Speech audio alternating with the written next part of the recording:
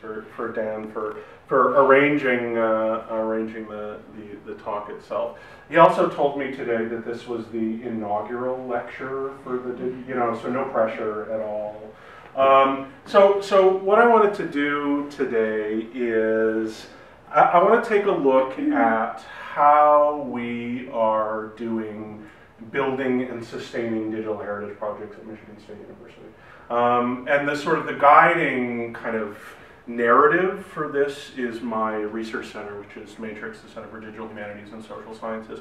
The thing you have to know about Michigan State University, and the thing that will come up inevitably, is the fact that there is sort of an entanglement of lots of different centers and lots of different departments and lots of different scholars. Um, and, and I'm just sort of looking at you know what we do through the lens of my own uh, my own research uh, research center, which I'll which I'll talk about sort of the you know the why and what we do and that kind of stuff.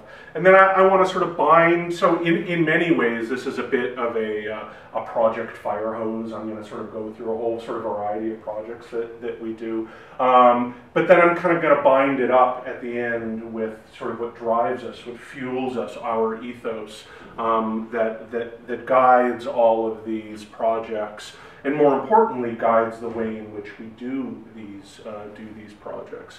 Uh, the one sort of caveat is because I didn't bring the adapter, we had to switch it over to PDF, so all of the fancy animations that I've got are like gone out the window, so caveat.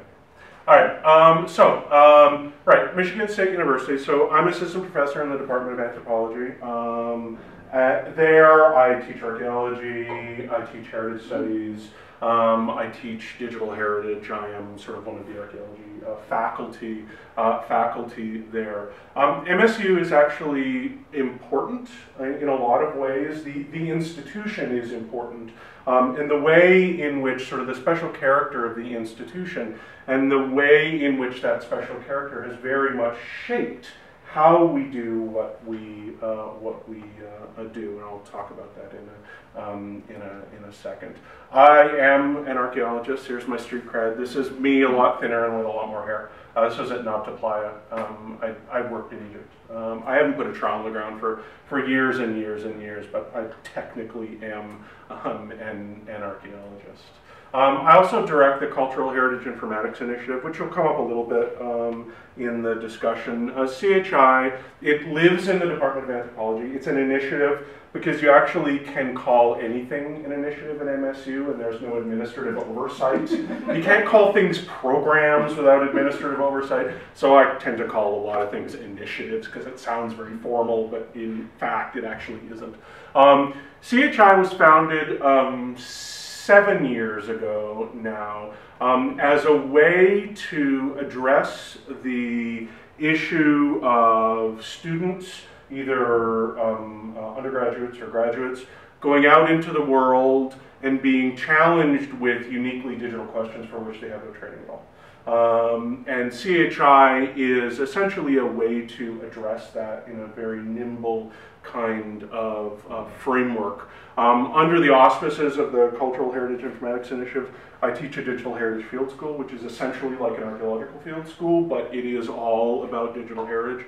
Um, I also run a um, uh, a graduate fellowship program. So it's all about sort of capacitating. So again, this is CHI is kind of one of these nodes and kind of this larger ecosystem of stuff at, uh, at Michigan State University. All right, so back to that, uh, that sort of the idea of MSU very much guiding and shaping the work that we do, uh, both at my center, which again I'll talk about in a little bit, as well as more broadly.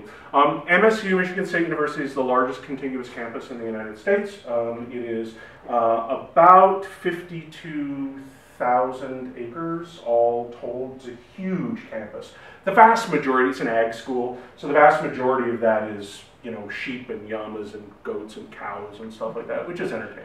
Um, we have the best ice cream at MSU. We have our own, it's wonderful. Um, The, the university is a, a, pioneering land grant institution, and if you know anything about the history of universities within the United States, a land grant institution was something very specific. It was, it had specific goals. It was applied education. Um, it was um, intended to, um, uh, uh, you know, uh, um, uh, provide students with skills that they could go on and apply in sort of the, uh, the, the, ag field or the, you know, the natural resources field and, and stuff, like, uh, stuff like that. It is actually the pioneering land grant institution. It's the first of its uh, kind um, in the United States. Um, and the real underlying narrative of MSU is uh, both, like I said, applied education and laboring in the public good. Right? We're a public institution, and we have a very, very strong ethos of public education, and the work that we do is for the public good. So again, you know, you'll find that really kind of very much uh, work its way into lots of places um, in the university, but it's also very much worked its way, has is um, in sort of embedded, entwined baked into what the digital heritage work we look at, uh, we do. You're actually looking at what's called the sacred circle. This is the actual center um, of, of campus. This is the Michigan State University uh, Museum. And this whole area in here is the oldest portion of the museum. The museum was founded in 1855 um, uh, which by English standards, that's certainly not very old, but by American standards, that's actually fairly old. Um, and you're not actually allowed to build anywhere inside the, uh, the sacred circle. So this is kind of the heart, uh, uh heart of campus. So on to Matrix, right? So this is the, like I said, this is sort of the narrative, the thread that is weaving its way through this entire talk. Uh, Matrix was founded in 1995. It is the oldest, or one of the oldest, of the sort of the first wave of digital humanities centers uh, within um, North America. Um, our we we are a what's called a research center of excellence at MSU. That puts us on par with an academic department. Um, that's fairly odd in the United States, um, where lots of research centers don't actually have academic administrative standing within the institution. Um, so we're sort of rare in that regard. So we, we exist sort of administratively on par with, a, uh, with an academic department. We are not degree granting or course offering in any way, shape, or form. We are a research uh, center. Now, digital humanities centers have a tendency to break down in one or two models, either a service center or a research center. Service centers tend to live um, in libraries, and their goal is primarily to provide service for the university community, whether it's students or whether it is um, uh, faculty. Um, then there's the research centers who are engaged in pure research, research in quotes, because our research uh, and the kind of research that, that we do looks different than what you find in a sort of a you know biology lab or something like that. So, but we are essentially intent, uh, you know, focused on doing on pure uh, uh, digital research. Um, our work falls into sort of can be characterized in, in sort of one or three ways. We're focused on culture and heritage, material culture, and then GLAM sectors, so galleries, libraries, archives, and museums. Um, again, digital humanities centers have a tendency to break down along two poles either focused on language and literature or focused on heritage and culture. We, and of course, you know, that's there's lots of overlaps between those two, but we fall on the culture heritage uh, side of things, and that's historical. That's a, just we a, as a center um, have evolved. We are deeply internationally focused and deeply African focused. Um, the vast majority of our projects, but certainly not all of our projects, um, are working with African partners, focusing on African content. And again, that's a little historical because Michigan State University as an institution has always been very focused on Africa. We have the leading African Studies Center. We have the leading um, department or program, uh, graduate program in African history. It's just sort of the nature of um, sort of historically um, MSU. Um, so it's no great surprise that a lot of the work that we do is focused in that direction um, as well. We're particularly interested in preservation and access, and you'll see this in a lot of the projects that we talk about. They are preservation projects, but we take the approach that you cannot have preservation with access. You know, why are you preserving this thing if not to provide access to it, um, uh, you know, for some sort of public? We're also deeply, deeply committed, and I'll come back to this at the end of the talk as well. Open access, open source, open data, open web, right? All of what we do is um, guided by this idea of openness. Um, we're also particularly interested in publicly engaged digital heritage, and that's my work personally. Um, uh, I'm very interested in publicly engaged digital heritage. And then we do a lot of software development, which is kind of odd for digital humanities centers. We're, we, we're historically very computer science oriented, and again, it's sort of a weird um, uh, um, factor of how we evolved and kind of how we grew up. So this is sort of matrix in a, in a bit of a, nut, a nutshell. We're really fortunate in that we have very, very large facilities. This is actually our programmer bullpen. Uh, we employ uh, on any given day or any given semester between 15 and 20 undergraduate programmers. All of our developers are undergraduates and graduate students. Um, and we've become really, really good at sort of managing those and technical managing managing those projects. This is a programmable pen. Um, we are also really engaged in digitizing endangered cultural heritage. And you're going to see that in a lot of these projects. And we have this very, this is only one quarter of our digital lab, and you can actually see, right, all these sort of legacy um, media machines that allow us to sort of digitize audio and video things, you know, for this kind of preservation access. This is Mike Green. Uh, Mike is the director of our, our digital lab. Um, we were also the last institution on, or the unit on campus that was allowed to build its own server room. This, this is actually pretty important within universities that are increasingly trying to control, to centrally control IT. Um, and we have a full server stack and, and the, the real sort of benefits, a double-edged sword very much so, um, the, the real benefit is that we control our environment entirely. We're actually considered to be a site of digital preservation by the IMLS, which is the Institute for Museum and Library Services. So we are a preservation environment, um, sort of arc, digital archive level preservation environment. Uh, so it's, it's good in that regard, and it really sort of speaks to this preservation work that we do. The other edge of that double-edged sword is we got to deal with this stuff when things go down. Like for instance, last weekend, the weekend before I came, my building turned off all of the water just as part of regular maintenance.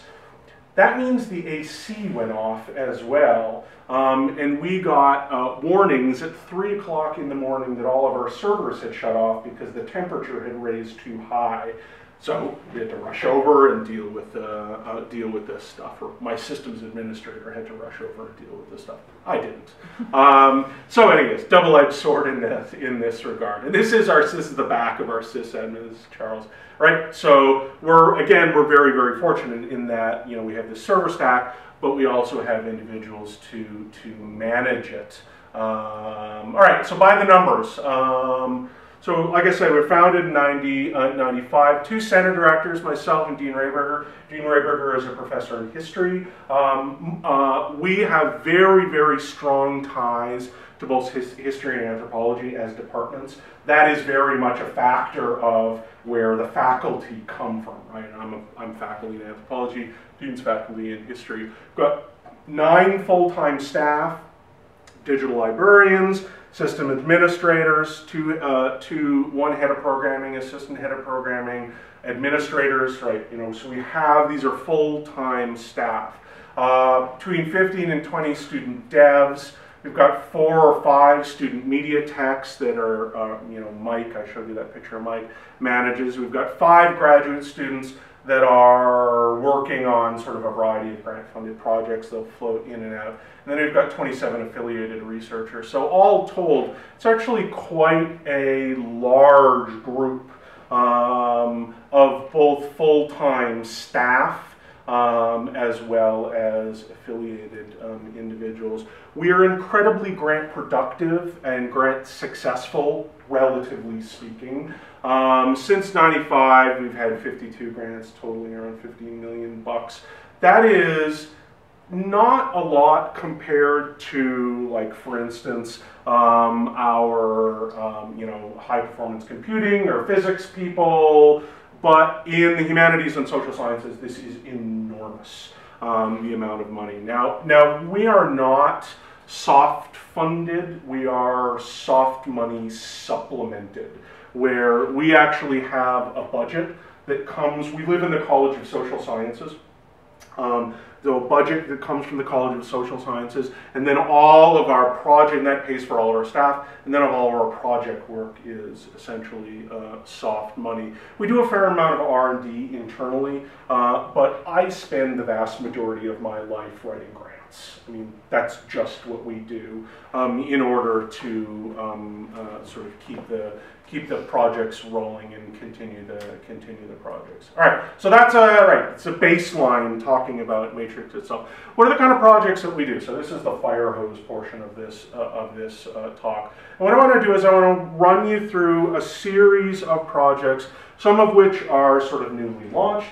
Some of which are what we sort of refer to as legacy projects. Like I said, we've been around since 1995, so we have projects that um, have been uh, around for a long time and it's our responsibility to sustain them. Um, some of the projects that I'll sort of mention um, are very much in development and I'm actually going to talk about a couple of projects um, where you guys are going to be the first to hear about them and the first to see some of the some of the work that, that we're doing. Um, I've provided all the URLs for the ones that are public. I, I don't want to risk trying to demo anything uh, anything live, uh, but if you want to check the project out, you're, you're perfectly uh, welcome to. So the first one I talk about is the Archive of Malian Photography. I talked about this um, at UCL, uh, the talk I gave at UCL um, earlier this week. Um, but again, I'm going to sort of I'm going to uh, talk about it again because most of you weren't there. But it's also a really important kind of case study uh, for the way in which we uh, way in which we do things. This is a live project. Actually, just went uh, uh just went live. Um, okay, so Mali, specifically Bamako, the capital of Mali, was very much the center of photography, both commercial photography and art photography, um, in French West Africa. Um, and there emerged this incredibly thriving scene of photographers that was absolutely unrivaled anywhere um, in uh, the entirety of French West Africa and quite honestly um, Africa as, uh, as a whole. Um, this project is focusing on that um, uh, photography scene in Mali, both colonial and post-colonial. And here are some, some uh, images from the archive, like I said, and I always say this is absolutely my favorite image out of the entire archive, the dude with the boombox. Um, and, and we can see it's, it's, it's portraiture, it's reportage, um, it sort of very much sort of runs the, runs the gambit. Um, within sort of the recent maybe 10 years or so, um, these photographs have become very, very desirable, very popular uh, on the European um, sort of art gallery scene. Um, and unfortunately, there have been many, many instances where gallery directors, dealers, have come to the, these photographers or their descendants, the, the owners, because all of these, the, the photographs that, that we're looking at, and I'll talk about some numbers in a little bit, are all familial patrimony, right? They belong to the family. These aren't government. These aren't uh, sort of publicly available kinds of things. So what's happened is these dealers or these direct art gallery directors have come to these photographers and said, look, we want to put on a show in Stockholm or Berlin or Paris or wherever, um, which will sort of raise the profile of your father or you, depending on who it was, um, and potentially sort of uh, result in, in more sales and more sorts of kind of an economic argument that is made. This is obviously something of much interest to the, the people who own the, the archives, the, like I said, the, the photographers themselves or their descendants, and they, in, in historically, they've always said yes. There's been a few instances where these dealers have said, all right, give us the negatives, and then they're never heard from again. And they, they start reproducing them, and they start selling them with no money given to the photographers um, them, themselves. So, so there is a, a need to protect the sort of familial patrimony of these photographers. But on the other hand, this material is incredibly important to historians, ethnographers, visual anthropologists, um, art historians. Um, and in fact, this project is uh, the, two the two PIs are myself and Candace Keller, who is a professor in the Department of Art, Art History and Design. She is an art historian of generated both in English and in uh, French. Um, and then this digital archive was built of the uh, uh, of these of these um, uh, these photographs. Um, it's important to note that this phase of the project was funded by the National Endowment for the Humanities. However, a previous exploratory phase was actually funded by the British Library's Endangered Archives uh, program. Um, so lots of public money has gone in to fund uh, to fund this uh, fund this uh, work. Now, the real sort of important narrative here in this project is the engagement with the community, right? There's just a picture of some of the individuals who are involved with the, um, with the project itself. Um, some of these are, so Musa here, he is a photography student. He's actually not a student anymore, but at the time he was a student. Um, so we have these, uh, these three guys here, students, that's their professor. Um, he is the son of one of the photographers, he is the son of one of the photographers, he is the son of one of the photographers. So again, it's this very sort of family community oriented thing. And the real, even though, you know, the scope of the project, it's large and, you know, we digitize lots of things, it's really that community engagement and that equitable partnership that happened during the course of building, uh, building this project. We've actually just launched um, this with maybe about a third of the photographs. The rest of them are probably going to go up um, over, the, uh, over the summer. All right, moving on, Gorée Island. Um, so people are familiar with Gorée Island? Gorée? Yes, no, no, okay. So Gorée Island is a tiny, not tiny, but nine kilometer long island um, off of uh, the coast of Dakar. Um, Island was for a very, very long time thought to be the primary sort of hub for the transatlantic slave trade. Um, it is a UNESCO World Heritage Site. It was inscribed 78, 79, something uh, like that.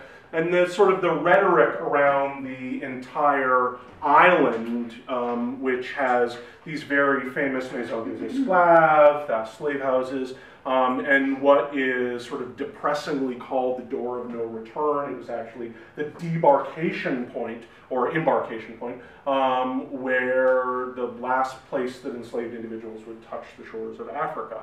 And it's this, there's all these dramatic pictures of, you know, dark and with this door looking out onto the, the ocean. The narrative has actually since changed, the scholarly narrative has, has changed. Um, and now most historians and historical archaeologists and archaeologists of um, enslavement um, uh, recognize that Gorée, while important in the transatlantic slave trade, was not absolutely central to it. That's neither here nor there. It's still particularly um, important. This is what Gorée looks like today. There's a limited number of individuals who are allowed to, to live on Gorée, um, all of which, or most of which, are actually descendants uh, from local populations and local enslaved populations.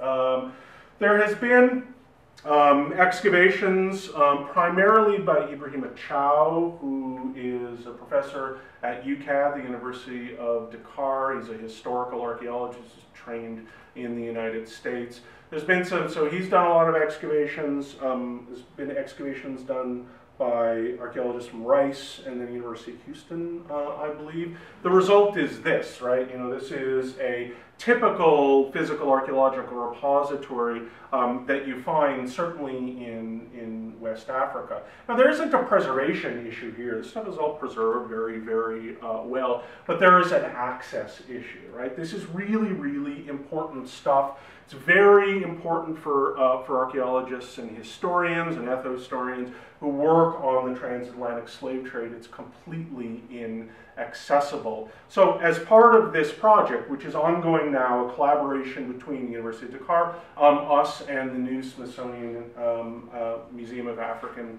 and African American History and Culture, I think that's its official name, um, are building a digital archive of the materials so it's sort of more accessible. Um, we're also doing 3D stuff, right? 3D scanning, photogrammetry um, of really important material culture. All of the 3D scanning is being done by undergraduates and graduate students, archaeologists at the University of Dakar, so there's an important capacity building aspect uh, to this project um, as well, because in many cases, th this material is, these, these people here are literally the descendants of those individuals, and some of them actually live um, on uh, Island uh, right now. And of course, you know, so 3D stuff, right? You know, basic field-based photogrammetry and then 3D printing, right? That we want that pipeline. We're really interested in that pipeline, not only providing sort of access to material culture and the excavation records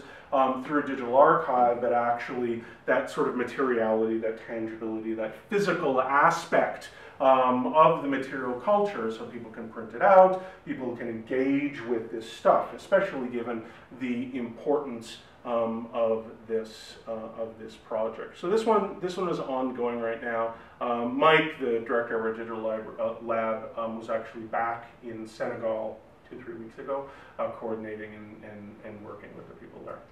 All right, let's move on to slave biographies. So slave biographies is a collaboration uh, between us and the history department in, at, uh, at MSU. Um, the PI is Walter Hawthorne, who's the chair of history, um, who is a historian of the slave trade. Um, so the problem with, there's, there's been a lot of work on uh, sort of digital projects on enslavement um, on both sides of the Atlantic. The, the problem is that the unit of sort of, um, uh, you know, analysis, the unit of interrogation um, is always sort of above the individual, right? The plantation, the ship, right? That's not talking about the individual. Slave biographies was essentially an attempt to expose and explore the lives of the individual enslaved. Um, we've both succeeded and failed in that regard. This is it's an incredibly complicated undertaking, given the fact that within the historical record, and certainly within the archaeological record, the vast majority of the enslaved had no identity at all.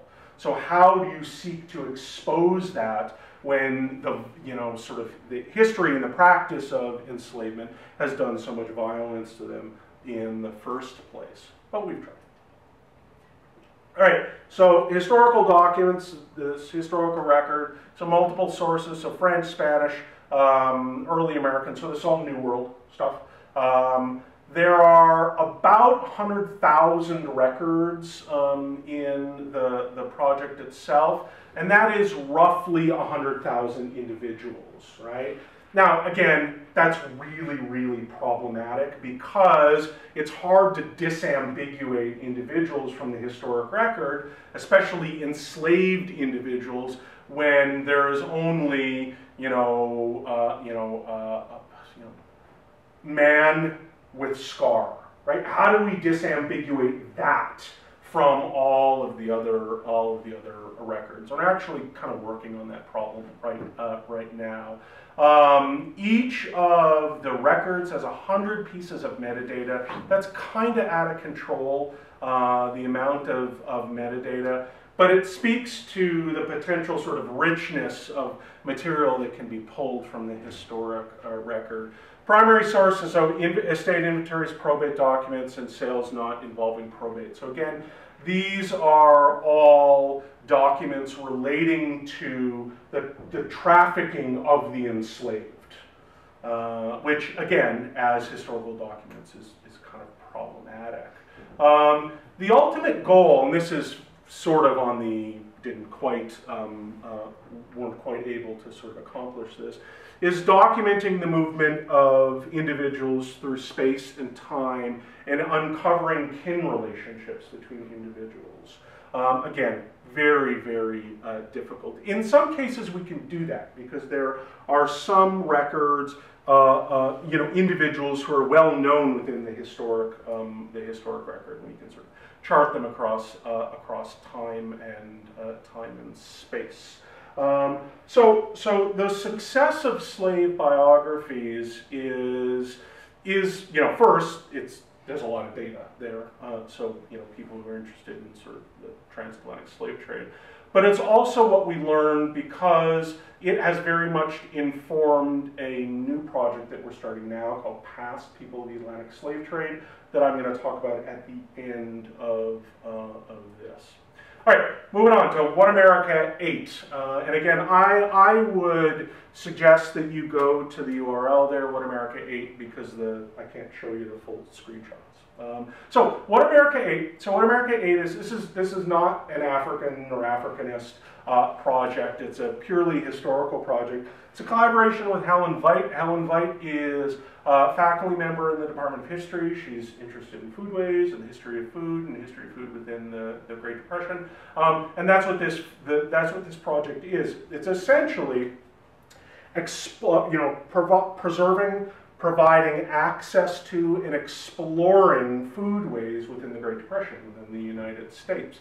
And essentially what it is, it's a giant uh, digital archive of community cookbooks, advertising, and American Eats. American Eats was a project by the WPA, Work Projects, Work Projects Administration, uh, which was essentially uh, to document uh, American foodways. And there's all sorts of um, sort of weird, you know, field notes of people going out into communities and recording, uh, recording stuff. Um, so you got you've got these American Eat stuff, you've got community cookbooks, and you've got you've got advertising, uh, oops, advertising there. Um, so you can it's it is at its core it's a digital library um, you can sort of explore. At the end of the summer, we are launching a whole series of crowdsourcing tools that will allow people to annotate um, the project for discovery and for, um, for search, uh, uh, search purposes. And we've got this whole sort of uh, reward point-based system where you do a certain amount of annotation or transcription and you actually get a copy of that, uh, that recipe and you build those recipes, uh, build them up in your own cookbook, your personal user uh, cookbook. Um, crowdsourcing is a problematic thing um, because uh, it's, it's quite honestly hard to get the crowd to actually do things. However, there are certain sort of topical instances that have pre-existing communities the foodie community, where they are more invested in doing some crowdsourcing because they're already predisposed towards this, uh, predisposed towards this uh, content. Uh, so we're going to be launching that in, I think, the end of the summer, or finishing off developing the tools right now. But the sort of basic digital archive is actually uh, accessible, uh, accessible right now. You can just go to whatamericaate.org. All right, moving back to Africa and moving back to a decidedly 1995 design aesthetic. Uh, because we've been around for so long, there's some legacy projects that really look like they were made in the in the 90s. eh, what do you do? Um, this is the African Online Digital Library. The African Online Digital Library is, so AODL.org, um, had been um, a portal, right, very 90s web speak, um, for all of our African projects, like 27, 28 projects. And it was just a way to kind of jump into uh, those, uh, jump into those projects. Like I said, it was just a, it was just a portal. Um, we're now in the process of actually reconceiving and rebuilding AODL um, as a digital library that is akin to Europeana or Canadiana or DPLA, right? Um, up until now, AODL is just our stuff. We have a lot of African stuff, but it is still just our stuff. Um, there are a lot of these sort of federation digital library platforms that bring together material culture or archives from heritage institutions or projects, but there is none that is exclusively focused on Africa, and that is what we are uh, what we are doing. so, um, and again, um, I'm sorry you can't see the, the sort of full designs.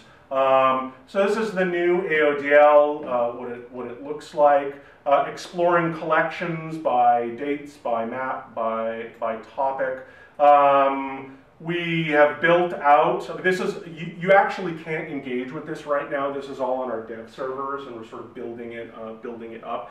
We're probably in the next four or five months, we're going to launch sort of a proof of concept so people can actually look at this um, in order to start to build interest in collaborations uh, between lots of other institutions and these people we kind of want to draw into this, uh, this collaboration. So mapping stuff, um, and then again, I'm sorry you can't see full, this, uh, this full thing, but essentially, you know, it's a digital library, you know, searching across these sort of multiple uh, digital, uh, digital libraries. Um, and again, you know, our ultimate goal long term is to turn this into um, a Europeana or an Africana uh, digital, uh, digital library um, to bring together all these disparate collections um, that exist and are maybe accessible, maybe not accessible.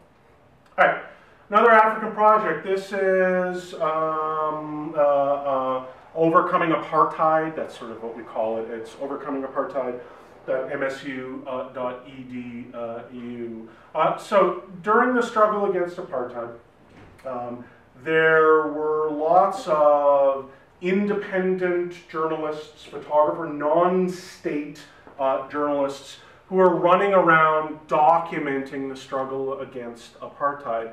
And overcoming apartheid, which again is, uh, is an older sort of legacy uh, project, was an attempt to uh, provide access to that material. It is essentially an oral history of the struggle against apartheid wrapped in explicitly educational materials. So this project was actually funded by the U.S. Department of Education, and as such, it had specific educational goals. So there is, you see here, for educators, so there is classroom material, there are lesson plans, there are ways to engage and bring the discussion about apartheid and South Africa and the struggle against apartheid into US classes. That was the whole point of this.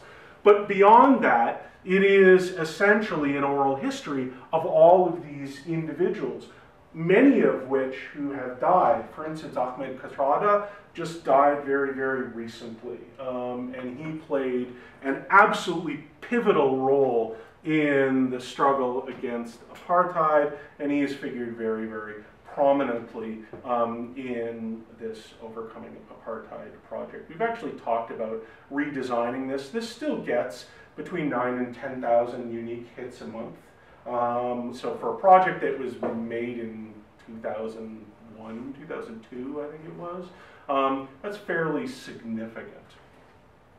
Okay, this is ARCS. Uh, this is one of my projects. ARCS is the Archaeological Resource Cataloging System. So for those of you who are archaeologists or know archaeologists, will know that regardless of where archaeologists are working, one of the things that archaeologists generate are field notes, right? No matter where you are working, you keep a field journal.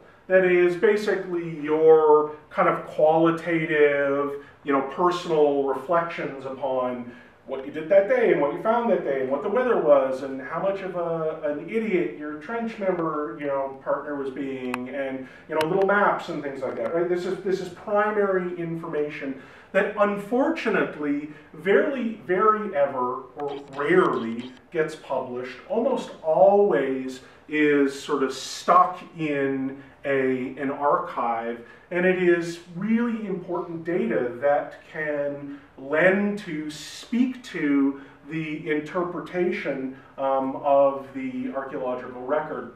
So ARCS is, so it's a collaboration between myself and Jon Frey. Jon Frey is a classical archaeologist at Michigan State University who works at Isthmia. Um, it is a platform that would allow projects to publish their field journals as well as you know, photographs and note cards and things uh, and things like that. Um, it would allow people to build collections of these materials. You can link from certain things. I'll just show you a, uh, um, a detailed view. Um, you can link from uh, things within the field journal to other field journals. Um, it's got sort of robust metadata for the, the field journal itself, both on the project level, season excavation, archival objects, and the subjects of observation. So, you know, this piece of ceramic or something, uh, something like that. Um, it also allows for crowdsourcing. Uh, so this metadata can actually be crowdsourced. There's discussion that can go on around these, these field journals. Um, and this is an installable platform. So the idea is that this isn't a one platform that all archaeologists in the world contribute to. No, this is something that if you have a project, you can install this on your servers and use it for your um, uh, your particular field journals. And, and any installation of ARCS uh, can support multiple sites. So if you have, you work in a lab that has um, of field journals and photographs and hand-drawn uh, notes to digitize them, to put them up, to share them, to publish them, to link them, uh, link them together. Um, we are, this is, again, this is funded by the National Endowment for the Humanities. We are in our last year, um, and this is going to be released as open source software for anyone to use um, and anyone to install. We'll have a version that will sit at arcs.matrix.msu.edu, which will have the project sites. So we had Isthmia, Keresunesis, uh, oh, two other sites, who's Ondemea is one of them, and then one other site those, so that version of it will have those four projects in it, uh, just sort of as an exemplar. Uh, but then you'll, anyone will be able to download and install this, um, you know, on their own servers and use it. All open source, all free. Uh, now, all of these digital archives, all these digital libraries, all these digital repositories, the backbone of that is, is KORA. KORA is our um, digital library um, and repository platform. It's about 10 or 12 years old now. Um, and we use it, again, free, open source, anyone can use it, anyone can install it. And we use it as the backbone for all of our digital library projects. And again, this very much sort of speaks to that free and open source software. This is all free, this is all open source, um, and it's sort of fully featured digital repository uh, platform. Uh, okay, um, I'm particularly interested in mobile heritage, um, uh, and one of the projects that I'm working on right now that actually I sort of quietly launched in beta uh, is Mbira. Um, is a um, an authoring platform for mobile heritage experiences. And it actually came out of a project called MSU Museum. MSU Museum is, was a, a mobile app um, and for those of you who were at my UCL talk where I said, don't do apps, apps are bad, yes, I made an app. Um, MSmuseum was a was a, a native I, uh, iPhone application that allowed people to explore the archaeology of the MSU campus. And we actually collaborated with the Campus Archaeology Program. The Campus Archaeology Program, which is directed by Lynn Goldstein, that is not Lynn Goldstein, that is Terry Brock, who is now a successful PhD who's working out in the world, um, is basically charged with protecting the archaeological heritage of the MSU campus. Mostly historic stuff, but also prehistoric stuff. So we actually work with campus archaeology, and they're certainly one of the really important stakeholders on campus that is engaged with uh, heritage and archaeology, but also very much engaged with digital heritage and, and digital archaeology. Um, all right, so Mbira. Mbira, so it's a platform, right? It's an ecosystem of tools. You have um, a digital repository that, and, that acts as sort of the backbone. You have the authoring plugin, and then you have these mobile templates, so that people um, actually uh, engage with, what they actually see. Um, so you can have any number of projects. Um, each project, so that um, Mbira is uh, built on the metaphor of space and place as museum thinking about space as a museum um, in an exhibit uh, kind of way. So what you do is you do projects, you build exhibits within those projects, and then you build locations within those um, exhibits. Um, and it's all sort of map-based, and you sort of plunk them down on a map. This is the authoring platform that you can see. Um, we're building it for KORA because that's what you know, that's our sort of main digital repository platform in the future. We're going to probably build this out for Omeka and WordPress and stuff like that. Um, so it's a full open source free authoring platform. You just install it on your servers um, and you are good to go. And then what you do is you connect up the template to the installation and it just starts pulling stuff out. So this is what it would look at from the user perspective, right? Exhibits, uh, exhibit titles, locations, maps, that kind of that kind of stuff. Um, but we want to go beyond that. So building what I call explorations. They're just tours. I just hate the word tours, so I just use the word explorations. It sounds a little bit better less mundane. Um, they're basically locations that are intended to be engaged with in a linear fashion, right? Where if I sort of go back here, you know, if you're looking at all, looking at this exhibit with all of these things, you don't have to engage with it in a, in a linear, uh, linear fashion. But this is intended to have a narrative that you explore linearly. Plus, we also want to engage the public in the heritage uh, or the archaeology, right?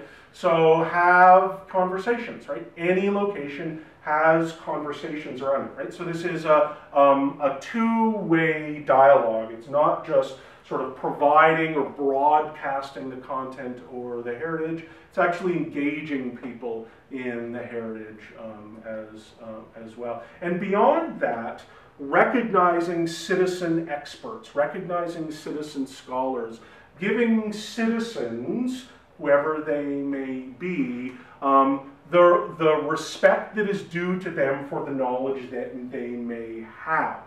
Um, and the sort of easy, sort of frictionless way of doing this is actually having these badges that identifies users, types of users, projects, citizen scholars. So a citizen scholar can actually get a badge that denotes their level of expertise, so elevating their voice um, on par with uh, project personnel um, as well.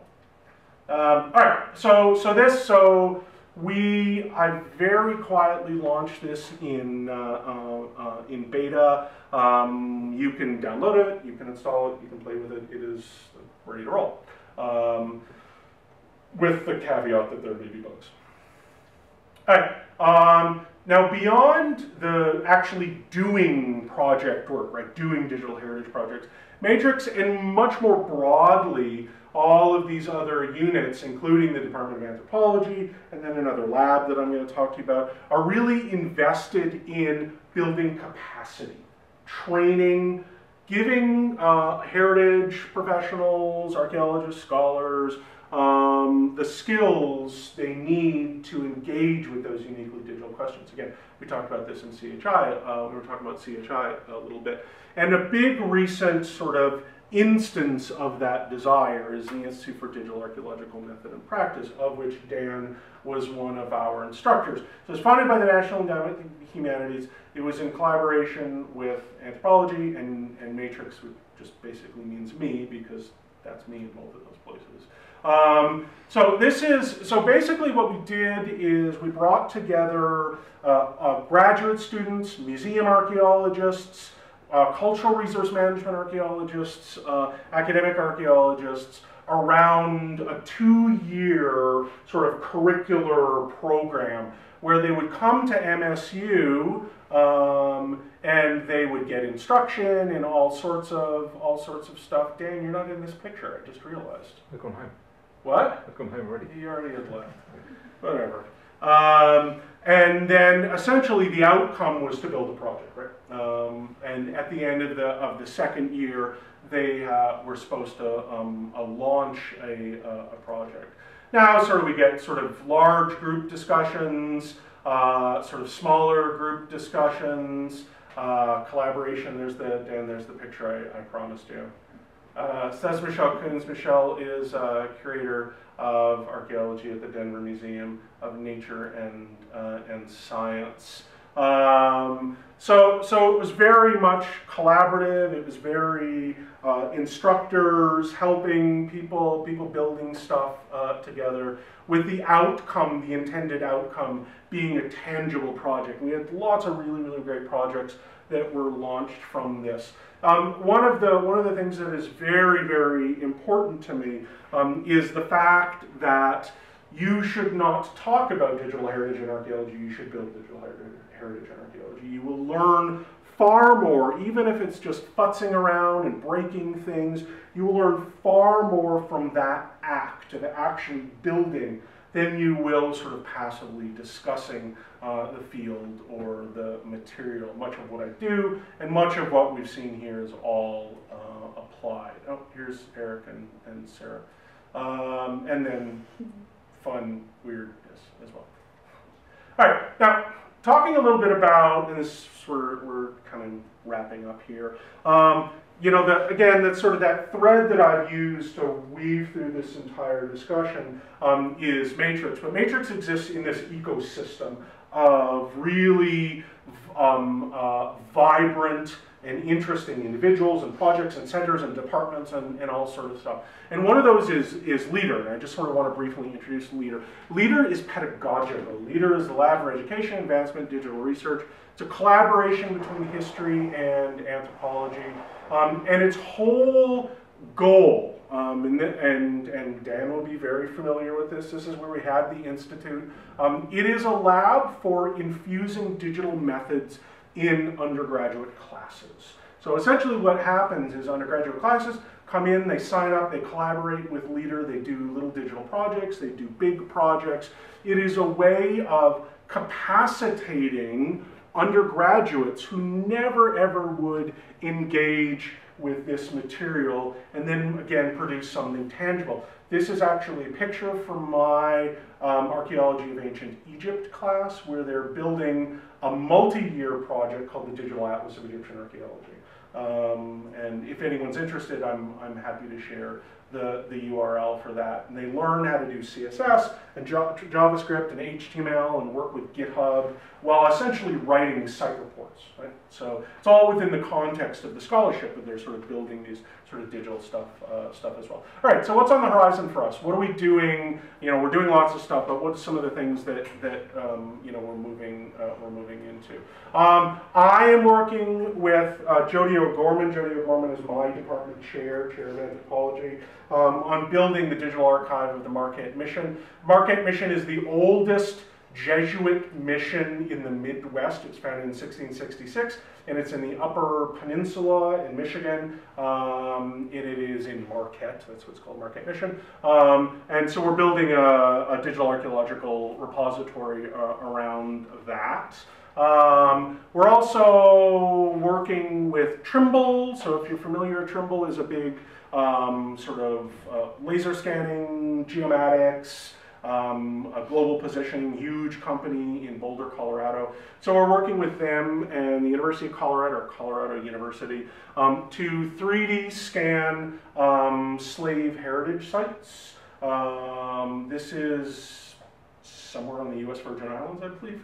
Uh, both in Africa and in the Americas, and then build a specific public user experience around it. It isn't a preservation project per se in the same way that a lot of 3D scanning projects are preservation projects, but it is preservation or digital uh, um, laser scanning and, and, and terrestrial LiDAR and photogrammetry uh, for the outcome being public um, engagement. This is past, so again, I can't show you a lot of these. This is the outcome, and this is the beyond the project team. You guys are the first to see this. Um, Past is was an outgrowth of um, slave biographies. And it was a recognition of the fact that, all right, slave biographies was one project, but there are lots of these other little silos of data or big silos of data that don't ever talk to one another.